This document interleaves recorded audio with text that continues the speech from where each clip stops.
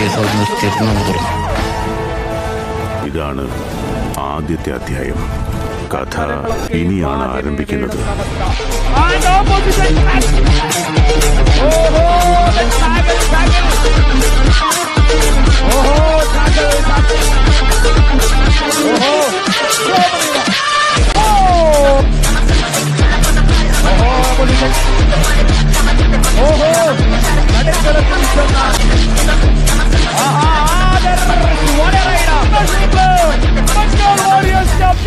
എന്റെ പിള്ളേരെ manager.